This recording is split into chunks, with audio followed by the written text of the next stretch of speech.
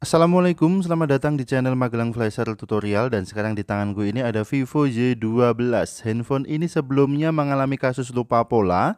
Kemudian kita lakukan web data. Dan sekarang setelah selesai kita web data, setelah selesai kita reset Ternyata handphone ini masih belum bisa masuk ke tampilan menu. Jadi ketika kita melakukan setup di akhir setupnya kita tetap tidak bisa masuk ke tampilan menu. Kita coba untuk setup dulu, kita bisa melewati beberapa opsi yang tidak penting. Kemudian di terakhir proses setupnya akan muncul notifikasi belum masuk seperti ini. Jadi untuk menggunakan ponsel ini terlebih dahulu Anda harus login ke akun Google pemilik yang digunakan di ponsel ini saat terakhir kali di setel ulang. Dan ini adalah Vivo serinya Y12.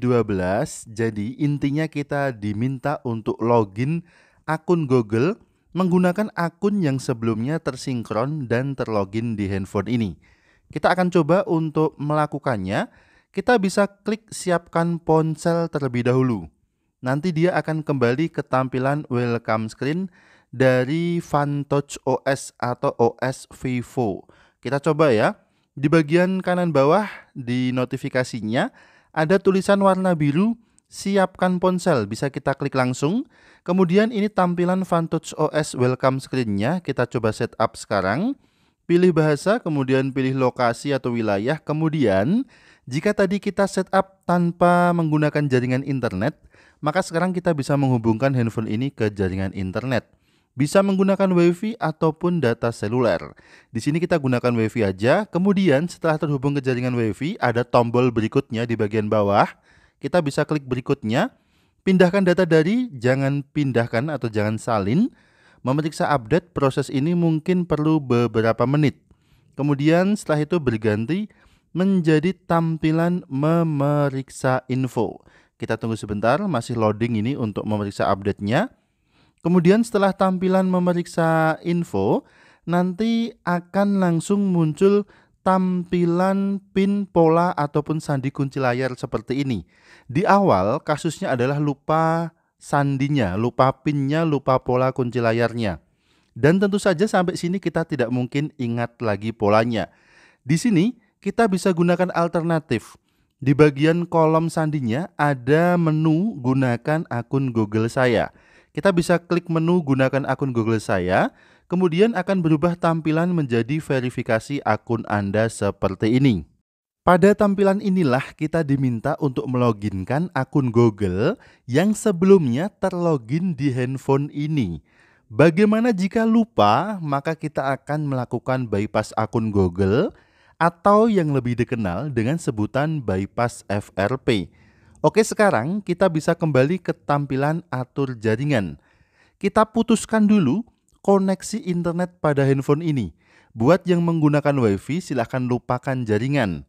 Untuk yang menggunakan kartu SIM, silahkan bisa untuk melepas slot SIM-nya agar tidak terbaca oleh handphone. Kemudian klik lewati di pojok kanan atas, kemudian lainnya-lainnya setuju. Kemudian bisa kita berikutnya dan pada tampilan sidik jari wajah dan kata sandi ini, kita pilih opsi atau menu tambah sidik jari atau tambah wajah.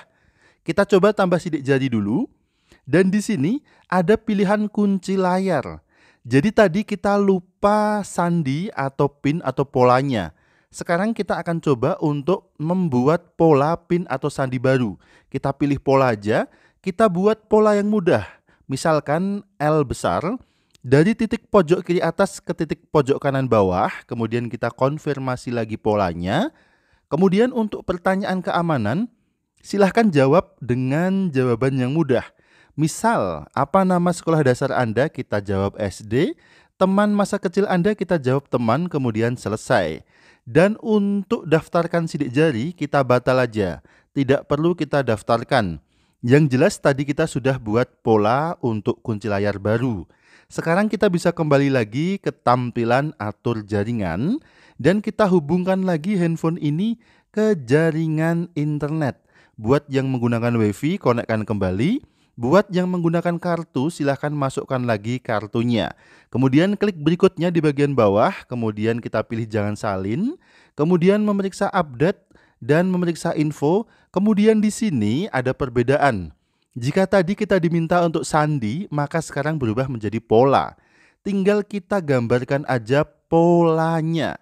Jadi sesuai dengan yang kita buat tadi, L besar kita gambarkan di sini, Kemudian berubah tampilan memeriksa info dan berubah tampilan lagi menjadi login akun Google.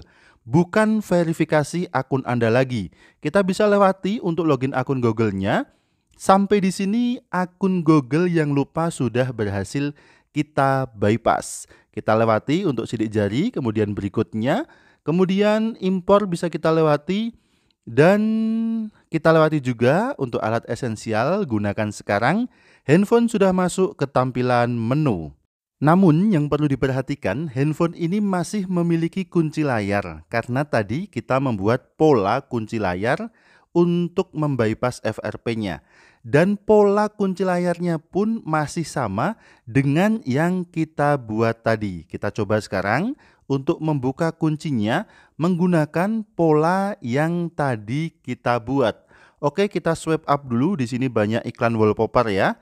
Kita gambarkan polanya sesuai dengan yang tadi kita buat. L besar atau letter L. Kemudian langsung terbuka. Ingat sebelum kita kembalikan ke user sebaiknya pola kita hapus dulu.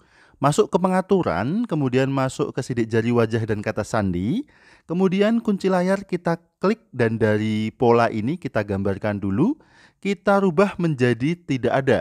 Kemudian sekarang pola kunci layarnya sudah hilang dan akun Google sudah berhasil terbypass. Handphone clean bisa kita tulis notanya dan bisa kita kembalikan ke usernya sekarang. Untuk serinya ini adalah handphone Vivo Y12 atau Vivo 1904. Terima kasih sudah menyimak tutorial ini. Mudah-mudahan bermanfaat. Bagaimana untuk tutorial hapus polanya jika handphone ini mengalami lupa kunci layarnya? Nanti akan kita bahas di video selanjutnya. Untuk itu sampai di sini dulu tutorial ini. Sampai jumpa di video selanjutnya dari channel Magelang Flasher. Akhir kata dari kami, wassalamualaikum warahmatullahi wabarakatuh. Dan tentu saja mantap jiwa jadi nota. Mantap.